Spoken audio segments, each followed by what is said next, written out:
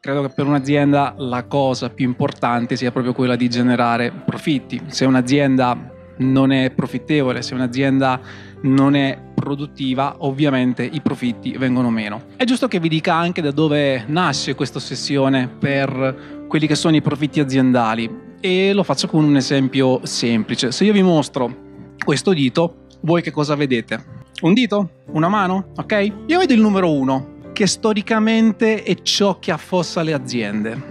Perché? Perché se in un'azienda c'è un unico titolare o comunque un unico responsabile o comunque un'unica figura per un ruolo, se quella figura viene meno, ovviamente ne risentono anche quelli che sono i profitti di quell'azienda. Perché se un'azienda ha un, un'azienda, uno showroom di porte e finestre, ha un unico canale di acquisizione clienti e quel canale viene meno, quell'azienda è in difficoltà in questi giorni no? siamo ovviamente tutti quanti preoccupati per quello che sta accadendo, per questo limbo che stiamo vivendo tutti quanti in cui ci troviamo, perché? Perché di base è venuto meno una delle argomentazioni di vendita più forti dell'ultimo periodo, la possibilità di fare lo sconto immediato in fattura. Oggi non è che non si possono vendere serramenti, oggi c'è qualche difficoltà in più nel esercitare l'opzione di cessione del credito o dello sconto in fattura. E chi è che è più in difficoltà? Tutti quelli che hanno fatto affidamento sul numero uno.